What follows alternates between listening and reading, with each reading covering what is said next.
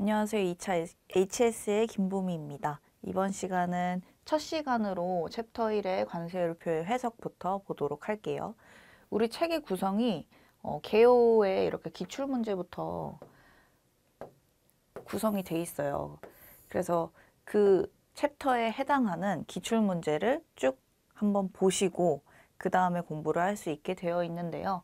저는 어, 여러분들이 기출 문제를 딱 봤을 때, 아, 그냥 이런 문제가 나오는구나. 에 그치지 않고, 이런 기출문제를 봤을 때 내가 목차를 어떻게 정하고 그 목차에 대해서 어떤 답을 써야겠구나.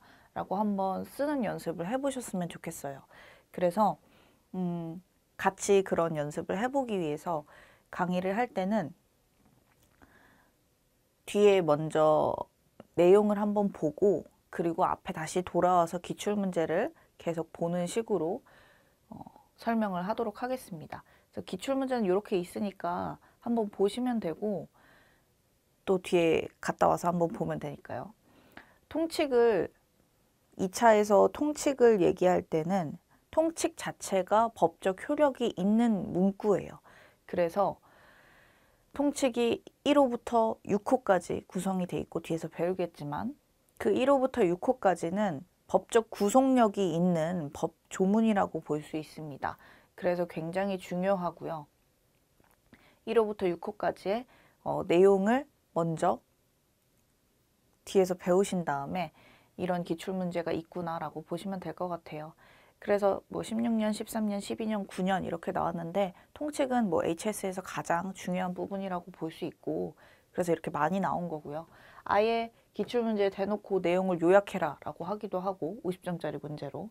아니면 10점짜리 문제에서 통칙의 어떤 문구를 설명해봐라. 아니면 그 문구에 해당하는 뭐 상품들을 나열해봐라. 이런 것들은 해설서에 있는 내용이긴 하지만 그런 것들까지 어, 물어보고 있습니다 기출문제에서. 뭐 사례를 기술하시오 비교 설명하시오 이런 것들 모두 다 사실은 해설서에 있는 내용이에요. 그래서 통칙은 굉장히 중요한 부분이기 때문에 통칙 자체를 잘 아는 것도 중요하고요. 그 문구에 해당하는 상품이 예를 들어서 어떤 거가 있는지도 알 수 있는 게 중요합니다. 그거는 책에서 다 지금 수록을 해놨거든요. 해설서를 여러분들이 따로 사서 외울 필요는 없어요. 저 시험 볼 때도 어떤 분이 해설서 사서 외우고 그런 걸 봤는데 그거는 진짜 장수생으로 가는 지름길입니다. 절대로 그렇게 하지 마시고 책에 있는 해설서 정도 아셔도 충분하니까 책에 있는 거라도 잘 외워주시기 바랍니다. 밑에 보시면 아시겠지만 뭐 매년 출제가 되고 있다 이런 식으로 나와 있죠. 중요한 부분이라서 거의 기출문제 여기에는 없지만 다른 문제 부분 점수라도 음, 맞을 수 있게끔 통칙은 거의 매년 나온다고 보시면 됩니다. 그래서 다음 장 넘어갈게요. 필수 이론 다지기 보시면 통칙 나오게 되죠. 그래서 1번에 의 보면 통칙의 의, 통칙은 품목 분류에 관한 일반법이라고 할 수 있는데 통칙 자체도 법적인 구속력이 있다라고 선언을 하고 있죠. 그래서 뭐 호의 용어, 주, 통칙 이렇게 세 개가 법적인 구속력이 있습니다. 그래서 호의 용어, 호의 용어는 말 그대로 0101 하면 살아있는 말이라고 되어 있는 살아있는 말이라는 자체가 호의 용어거든요. 그것도 법적 구성력이 있고 주는 우리 부, 주 뭐 이런 식으로 실제로 상품을 나열하기 전에 위에 있는 서문이 있어요. 그 서문을 주라고 하는데 주도 법적인 회전력이 있고요. 구속력이 있고요. 통칙 자체도 법적인 구속력이 있어요. 그래서 이렇게 세 개는 HS상 법적인 구속력이 있으니까 반드시 외워야 될 세 가지입니다. 그래서 호의 영어, 주, 통칙 이렇게는 어, 누가 뭐라고 하지 않아도 반드시 외워야 되는 부분이죠. 특히 호의 용어는 뭐 배우신 분은 아시다시피 97류까지 있고 그거를 상품학적으로 쭉 나열한 거기 때문에 이걸 다 외워야 되나 싶으시지만 제가 추천드리는 거는 네 자리까지는 외워주시는 게 좋습니다. 그래서 대부분 수험생들이 네 자리까지는 외우고요. 그래서 뭐 0101, 0102, 뭐 0106까지 있죠. 그런 0106 이런 숫자에 대해서 네 자리 숫자에 대해서는 그게 뭔지 꼭 외워주시기 바랍니다. 네 자리 숫자까지는 대부분 이제 국제 공통이기도 하고 문제에서 나 아예 물어보는 경우도 많기 때문에 네 자리까지는 외우셔라. 그리고 주와 통칙 자체도 법적인 구속력이 있기 때문에 반드시 외워야 된다. 그래서 통칙의 적용 범위는 광범위하며 일반성을 가진다. 왜냐하면 그 가장 처음에 피면 나오는 게 통칙이거든요. 그래서 모든 관세율 표에 적용되는 게 통칙입니다. 그래서 광범위하고 일반성을 가지고요. 통칙 구성 및 적용 순서 보시면 6개의 규정으로 구성이 되어 있고요. 통칙 1을 최우선으로 적용해야 된다. 그래서 1, 2, 3 이런 식으로 가요. 그래서 1을 적용할 수 없을 때 2로 가고 3으로 가고 4로 가고 그래서 적용 순서에 따라서 나와 있다고 보시면 되고요.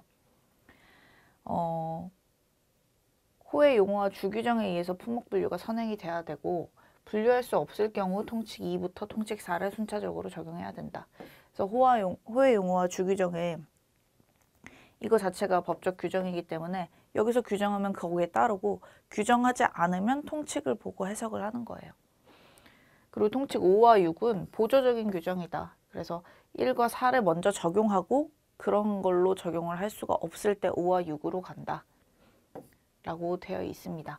2에서 4, 1, 2, 4, 3, 4는 주요 규정이고 5와 6은 보조적인 규정이다. 그리고 국내에는 통칙 7이 있으나 이거는 월드와이드 전 세계적인 규정은 아니고 그냥 선언, 선언적인 내용이다. 그래서 몰라도 된다. 뭐 한 줄밖에 안 되지만 그래서 통칙 요약 보시면 먼저 이렇게 볼 수가 있어요. 통칙 공부하신 분은 아시겠지만 1에서는 호의 용어, 그 다음에 주에 따라서 분류를 해라 라고 되어 있습니다. 통칙 2는 불완전 미완성, 미조립 물품, 분해 물품은 완성품에 따른다 라고 되어 있습니다. 그래서 뭐 어떤 물품을 조립할 수 있는 세트예요. 근데 본질적인 특성을 이미 가지고 있다면 완성품에 분류를 하게 됩니다. 그리고 혼합물, 복합물도 여러 가지 뭐 A랑 B랑 C랑 섞여 있어요. 그러면 음, 그 재료뿐만 아니라 다른 물질도 포함이 가능하다. 그래서 A, B랑 A, B 이렇게 섞여 있는데 B는 아주 소량이에요. 그래서 A의 본질적인 특성을 가지고 있다면 A에 분류해라 라는 규정이고요. 뒤에서 더 세부적으로 배울 거니까 이렇게 간단히 설명할게요. 그 다음 통칙 3은 구체적 표현의 분류 원칙. 그래서 어떤 물품에 대해서 포괄적으로 규정한 것보다는 그 물품을 세부적으로 포함한 게 더 있다면 세부적인 호로 간다. 당연한 거겠죠. 왜냐하면 세부적일수록 그 물품의 특성을 더 반영하고 그 물품에 해당하는 호일 경우가 높기 때문에 구체적인 표현에 먼저 분류를 한다. 그 다음 본질적 특성의 부여호. 이런 특성을 가지고 있을 때 본질적 특성을 파악한다. 그래서 뭐 부피, 수량, 뭐 무게 이런 것들을 고려해서 뭐 A, B, C 이렇게 섞여져 있는데 A가 90%예요. 부피가. 그러면 A를 확률이 높겠죠. 이런 식으로 본질적 특성에 어떻게 부여할 건지 분류 원칙이 있고요.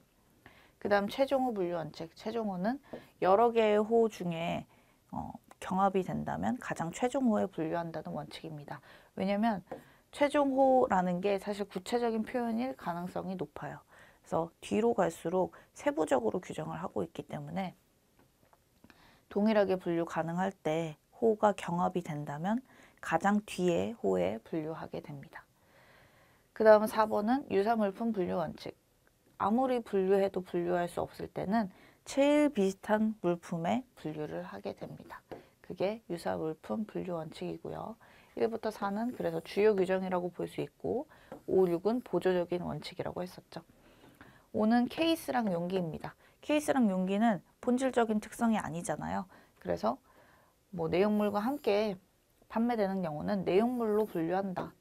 그래서 뭐 포장을 예쁘게 한 어떤 A라는 물품이 있다. 그러면 A라는 물품에 당연히 분류를 해야 되지.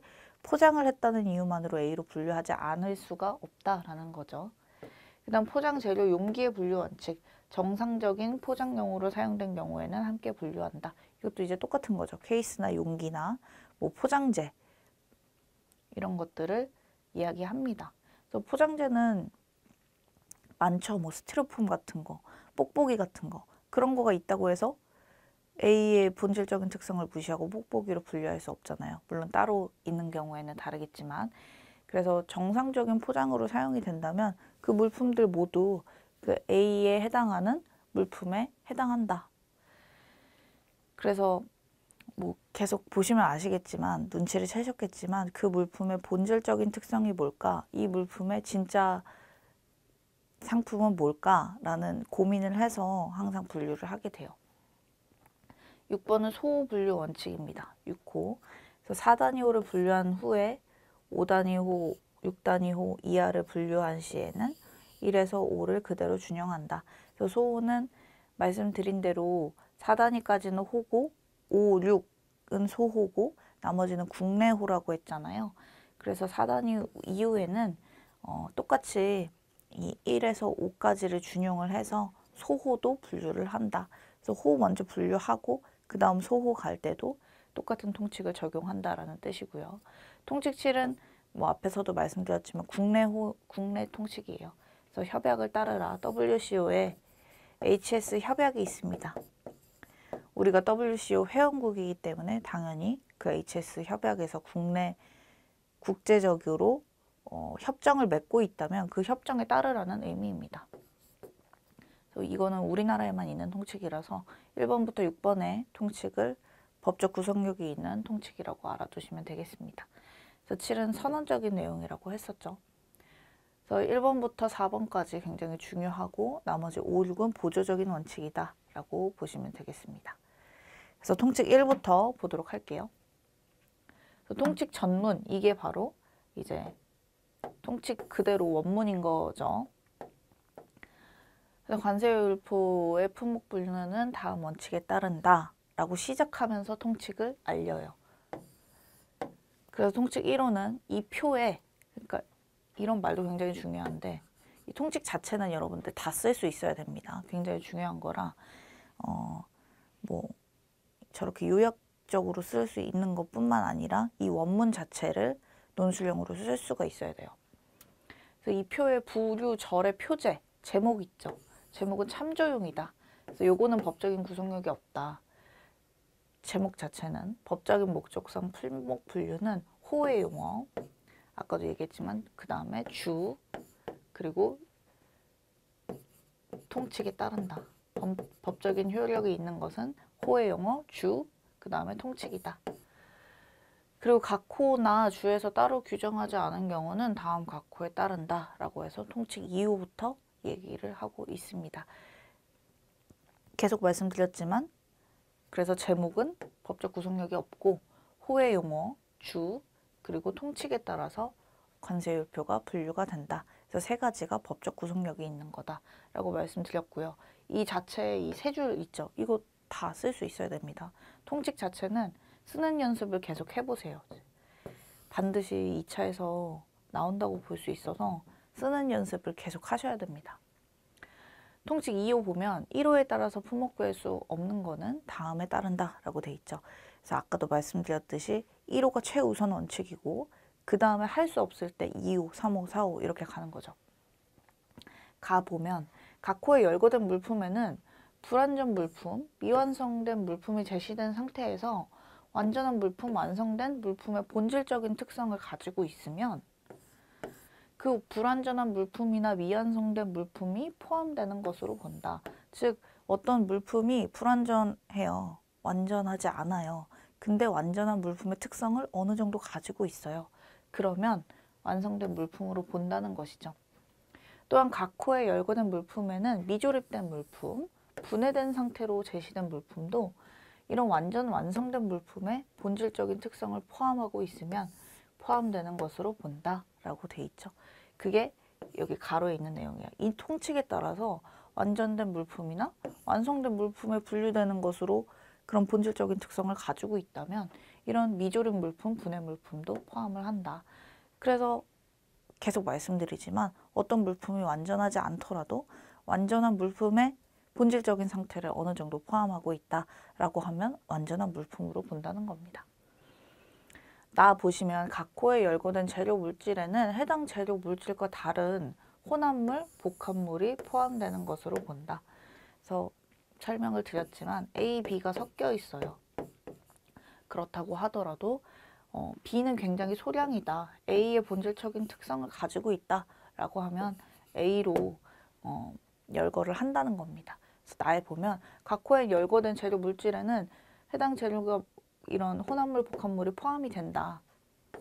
그래서 특정 재료 물질로 구성된 물품에는 전부 또는 일부가 구성된 물품이 포함되는 것으로 본다. 이것도 똑같아요. 그래서 특정한 재료 물질 이런 것들이 본질적인 특성을 해하지 않으면 해당 재료 물품에 구성된 물품을 포함된 것으로 본다.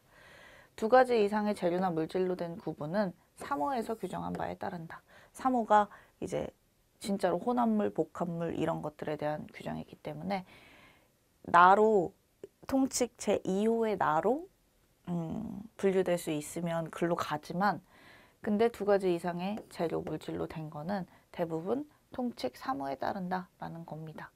그래서 나로 분류할 수 있는 것은 할 수 있지만 이걸로 할 수 없다. 그러면 통칙 3호로 가서 정해라 라는 겁니다. 그래서 아까도 말씀드렸지만 1호가 안 되면 2호로 가고 2호가 안 되면 3호로 가고 이런 순서를 정한 거라고 볼 수 있겠죠. 그래서 나오도 가오처럼 똑같이 어, 본질적인 특성이 뭐에 있느냐에 따라서 볼 수 있습니다. 그 다음 통칙 3호 볼게요. 지금은 조금 이해 안 될 수도 있는데 일단은 제 설명 듣고 넘어가세요. 왜냐면 뒤에서 그 물품의 사례까지 볼 수 있거든요. 그 사례를 보시면 조금 더 이해가 잘 될 거예요. 그래서 지금 암기 내가 이해도 안 되는데 암기해야 되나? 이러고 막 뒤로 돌려가게 하면서 계속 보지 마시고 뒤에 계속 설명할 테니까 일단은 듣고 넘어가세요. 그래야 이제 쓸, 쓸, 쓸 줄도 알겠죠. 한 번에 이해할 수 없어요. 그래서 어, 초, 초반에는 아 그냥 이렇구나 이러고 들은 다음에 두 번째 2회 독할 때 뭐 더 들을 수도 있고 3회 독할 때 더 들을 수도 있고 제가 시험 공부를 하면서 느낀 거지만 그 너무 완벽주의를 가지면 또 합격을 못 하더라고요. 어, 적당히 좀 넘어갈 줄 알아야 합격을 하는 것 같습니다. 그래서 지금 이해 안 된다고 하더라도 뒤에서 또 설명할 거기 때문에 너무 걱정하지 마세요.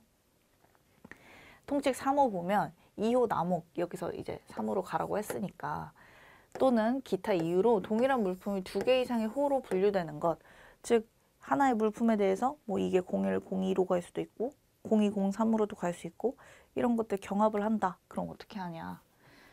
다음 규정에 따른다는 거죠. 3호, 3호의 규정에. 그래서 가 보면 가장 구체적으로 된 표가 호가 일반적인 표현된 호에 우선한다. 그래서 가장 세부적으로 이야기를 한 호가 우선을 한다. 그래서 둘 이상의 호가 혼합물, 복합물 중에 일부만 규정을 하거나 소매용 세트로 된 물품에 대해서만 각각 규정하는 경우에는 그중 하나의 호가 다른 호보다 더 완전하고 상세하게 표현하고 있지라도 동일하게 구체적인 구체적으로 표현된 호로 본다. 이거는 뭐냐면 혼합물, 복합물, 소매용 세트에 대해서는 어, 다른 물품 여러 가지 세 번이 있을 때 더 상세하게 표현된 호가 있더라고 하, 더라도 동일하게 구체된 구체적으로 표현된 호로 본다. 즉, 뭐, 이 A라는 물품에 대해서 여기 호도 있고 여기 호도 있어요. 근데 이게 혼합물, 복합물, 소매형 세트예요. 라고 한다면 둘 다 똑같은 그 차원에서의 호로 본다는 거죠. 그래서 동일하게 구체적으로 표현된 호로 본다는 거예요.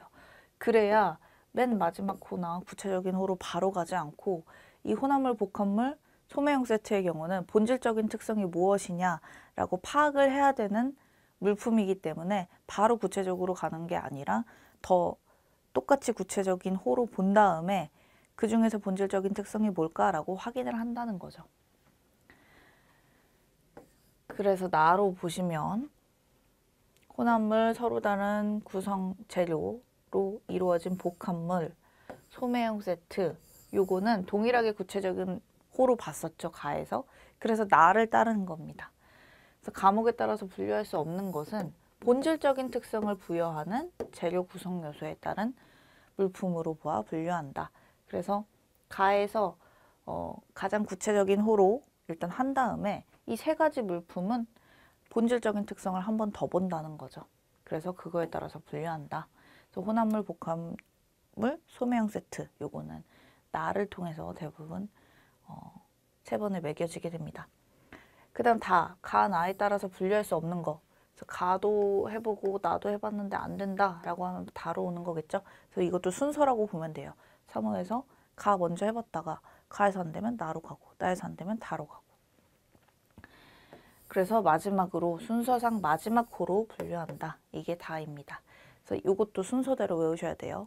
가는 가장 구체적으로 표현된 거, 나는 분질적인 특성, 그 다음에 다는 가장 마지막 호 이렇게 외워주시면 되죠. 그리고 혼합물, 복합물, 소매형 세트에 대해서는 따로 규정하고 있구나. 요거까지 쓸 수가 있어야 됩니다. 뭐 지금 다 2차니까 다 이거 쓸 수 알아야 돼요. 여기 뭐지? 통칙은 어, 반드시 다 쓸 줄 아셔야 됩니다. 제가 이렇게 설명만 하고 넘어가지만 어, 모의고사나 진짜 시험에서 쓸 수 있게끔 준비를 해야 돼요. 가장 이제 조, 베스트는 한 톨도 틀림없이 그냥 원 조문을 쓰는 게 가장 베스트지만 그럴 수 없잖아요. 그래서 제가 말씀드린 이런 키워드 위주로 쓰시는 게 중요합니다. 4호 보면 1호부터 3호까지 분류할 수 없으면 가장 유사한 물품이 해당되는 호로 분류한다. 그래서 1호도 해보고 2호도 해보고 3호도 해봤는데 안 된다. 그러면 가장 유사한 물품, 제일 비슷한 물품에 분류를 한다 하는 거고요. 그 다음 5호부터는 보조적인 통치라고 했었죠. 다음 강목의 물품은 1호부터 4호 적용하는 외에 다음 사항을 적용한다. 외에라는 거가 이제 보조적이라는 거죠. 보조적인 규정이라는 거고요. 가 보면 사진기, 악기, 총 케이스 이런 케이스들은 케이스와 용기는 특정한 물품이나 세트를 담을 수 있도록 그 특별한 모양으로 그러니까 그 물품을 담으려고 특별하게 구성이 돼, 돼 있거나 또는 장기간 사용하기 적합하기 하고 내용물과 함께 제시된다. 이런 세 가지 조건이 충족이 되면 그 내용물과 함께 분류한다. 단 용기가 본질적인 특성을 부여하는 경우에는 그러하지 아니하다. 라고 돼 있죠. 그래서 이런 말들도 그냥 외워주시는 게 좋아요. 사진기, 악기 케이스, 총 케이스 그리고 그 물품에 알맞게 제조가 돼 있고 장기간 사용하기 적합하며 내용물과 함께 제시가 돼야 된다. 그리고 용기가 물품의 본질적인 특성을 부여하면 안 된다. 이것도 뭐 뒤에서 배울 거지만 어떤 물품, 뭐 꽃이라는 물품이 있는데 이거를 뭐 금 케이스에 넣어놨어요. 그럼 케이스가 더 비싸죠? 이런 경우에는 케이스의 본질적인 특성이 있다고 봐서 이걸 꽃으로 분류하지 않는다. 케이스로 분류를 하는 거지. 그래서 케이스 전체가 본질적인 특성을 부여하면 안 된다. 그 다음 나 보시면 가에 따르면 그에 따르고 즉 통칙 5호도 가를 해보고 안 되면 나로 가라는 거죠. 감옥에 따르면 그에 따르고 이런 포장 재료와 용기는 물품의 포장용으로 정상적으로 사용되는 것이라면 내용물과 함께 분류를 한다. 그래서 포장 용기, 포장재 이런 것들도 어, 일반적인 포장이라면 내용물과 함께 분류를 한다. 다만 그런 포장 재료나 포장 용기가 명백히 반복적으로 사용하기에 적합한 것이라면 그러하지 아니하다. 즉 일반적인 포장이 아니고 그 포장 용기만 나중에 팔 수 있을 정도로 본질적인 특성이 있다. 그럼 안 된다는 거죠. 그래서 그런 말을 반복적으로 사용하기에 적합한 것이라고 구분을 하고 있습니다. 그래서 가에 해당하면 가에 따르고 나는 포장 재료와 포장 용기에 대해서 내용물과 함께 분류하고 반복적으로 사용되는 것은 그러하지 아니하다. 라고 있는 게 통칙 5호입니다. 보조적인 규정이라고 말씀드렸죠.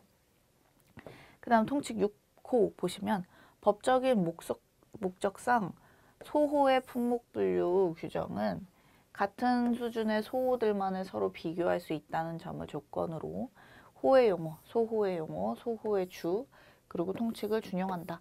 즉 소호끼리 비교할 때는 호 비교하는 거랑 똑같이 1호부터 4호, 1호부터 5호를 그대로 적용한다는 거예요. 그리고 통칙의 문, 목적상 문맥에서 달리 해석되지 않는 한 부류의 주도 적용한다. 그래서 소호에서 소호로 분류할 때는 당연히 소호의 용어, 소호의 주, 소호의 통칙에 따르지만 어, 부나 류의 주 뭐 당연히 위 상위 개념이니까 그 상위 개념도 똑같이 적용한다라는 뜻입니다. 그게 6호고요. 그래서 소호도 그냥 호호가 똑같이 규정을 한다라고 보시면 됩니다. 그래서 6호까지가 법적인 구속력이 있는 통칙이라고 말씀드렸죠. 다음 7호 보시면 이 표에 규정되지 않은 것은 국제협약에 따른다. 즉 WCO, HS 협약에 따른다라는 겁니다. 그래서 요거는 우리나라에만 있는 통칙이며 법적 구속력이 없는 통칙이라고 말씀드렸죠. 그래도 7호가 어떤 건지는 어, 잘 알아두시는 게 좋으니까 뭐 국내 통칙이라고 해서 법적인 구속력은 따로 없다라고 보시면 됩니다. 넘어가서 해설서 요약 볼게요. 어, 첫 번째 시간에도 말씀을 드렸지만 그 표, 관세율 표 그리고 관세율 표의 주, 호의 용어 이런 것들은 법적 구속력이 있기 때문에 반드시 외워야 되고 쓸 줄 알아야 되는 그런 범위에 속합니다. 근데 해설서는 법적인 효서, 효력 자체는 없어요. 그래서 해설서 자체를 다 외우는 거는 필요가 없고요. 제가 강의 시간에 계속해서 말씀드릴 거거든요. 아, 해설서 중에서 이런 사항은 중요해요. 그래서 외우시고 쓸 줄 알아야 돼요. 라고 하는 부분이 있, 을 겁니다. 특히 통칙의 경우는 너무나 중요한 규정이라서 해설서 자체에 어떤 키워드를 외우시는 것도 중요해요. 그래서 아예 해설서 요약이라고 되어 있고 책에서 보고 있는 건데 어, 이 해설서를 그래서 다 외워야 되느냐 그건 아니다. 그래서 외워야 될 것만 제가 강의 시간에 말씀드리겠다라고 해서 보시면 되겠습니다. 그래서 관세율표의 품목 분류는 다음 원칙에 따른다라고 해서 통칙이 나오고 그 통칙의 예시 그리고 통칙을 적용할 수 없는 예시 이런 것들을 해설서에서 보고 있어요. 그걸 같이 볼게요. 통칙 1부터 통칙 1은 호의 용어 그리고 주에 의한 분류였죠. 그래서 이 표의 표라는 말이 중요했었고요. 전체에 적용되는 규정이니까. 그래서 참조편의 예시 보면 뭐 15부는 금속 비금속 제품이 있어요. 근데 비금속 제품은 15부 이외에 다른 데도 분류가 된다. 왜냐하면 어, 16부, 17부 차량 이런 데에서 15부의 것은 제외한다라고 규정을 하고 있기 때문에 어, 예시가 됩니다. 그러니까 주에서 15부, 16부에 같이 규정이 될 수 있는 거에 대해서 어, 16부에 부정, 규정할 수 있는 거는 15부에서 제외합니다. 라고 주에 돼 있거든요. 그래서 주에 따르는 거이기 때문에 그 주에서 정한 대로 15부는 16부로 간다. 15부랑 16부랑 경합을 하면 16부로 간다. 라는 거고요. 그 다음에 호의 용어 주의 분류 예시 보면 0102는 살아있는 말이라고 규정을 하고 있거든요. 그래서 살아있는 말이 있으면 0101로 간다. 왜냐면 호의 용어에서 그렇게 하라고 돼 있기 때문에. 그 다음 통칙 1을 적용할 수 없는 경우 불안전 미완성 상태로 제시된 거 안장 없는 자전거, 타이 없는 자전거 이런 것들은 통칙 1을 적용할 수 없어요. 왜냐하면 어, 불안전하고 미완성 상태는 통칙 2에서 규정하고 있었죠. 그래서 바로 안장 없는 자전거, 타이 없는 자전거를 호의 용어나 주에서 정하고 있지 않기 때문에 이거는 바로 통칙 1로 가지 못하고 통칙 2에서 4를 순차적으로 적용한다. 그 다음 미조리 분해돼서 제시된 물품도 역시 통칙 1에서 호의 용어나 주에서 따로 정하고 있지 않기 때문에 통칙 2로 간다. 그래서 호의 용어, 주, 통칙에서 정하고 있지 않는 것들은 통칙 2에서 4를 순차적으로 적용한다 라고 보시면 되겠습니다. 즉 법에서 정한 거는 그대로 가지만 법에서 정하지 않고 뭔가 아리까리하다라고 하면 통칙 2나 4를 순차적으로 적용해서 그 통칙에서 정하자라고 하는 것들의 기준을 따라서 정하자는 겁니다. 통칙 1은 이 표에서 그 호의 용어, 주, 그리고 통칙 이런 것들이 정해져 있으면 그에 따르라는 거고 1을 적용할 수 없는 경우에만 2에서 4호로 가라는 뜻이겠죠. 그래서 여기까지 이제 통칙 1의 해설서를 봤는데 어, 해설서 자체의 뭐 여, 예시 요거는 알아둘 필요가 없어요. 요거는 모르셔도 되고요. 이 안장 없는 자전거, 타이어 없는 자전거 아, 이런 것들은 통치길에서 따로 안장 없는 자전거, 타이 없는 자전거를 분류하고 있지 않기 때문에 통칙 2로 가면 되는구나 라고 알아두시면 되고요. 이런 예시는 알아두시는 게 좋아요. 그래서 안장이 없는 자전거, 타이어 없는 자전거는 어, 통칙 1에서 따로 분류하지 않는구나. 그럼 통칙 2로 가야겠다. 라고 해서 그 답안지 적을 때 이런 안장 없는 자전거 예시를 드는 게 좋거든요. 이런 것들은 통칙 2에서 4를 순차적으로 적용한다. 라고 보시면 되겠습니다. 그래서 다음 시간부터는 통칙 2 해설서부터 같이 보도록 할게요. 수고하셨습니다.